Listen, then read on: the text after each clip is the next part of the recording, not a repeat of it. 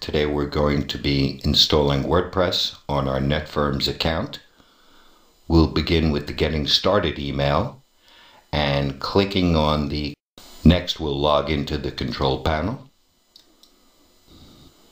And here you can see the vDeck control panel which NetFirms uses. We need to click on the WordPress icons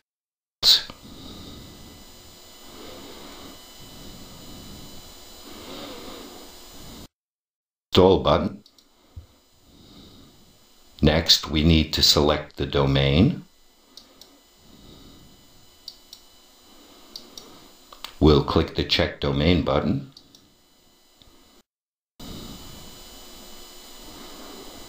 The message tells us that there are files on the server presently and we'd like to look at the advanced options we have to agree to the terms and conditions and then click install now. As the progress of our WordPress installation moves across the screen,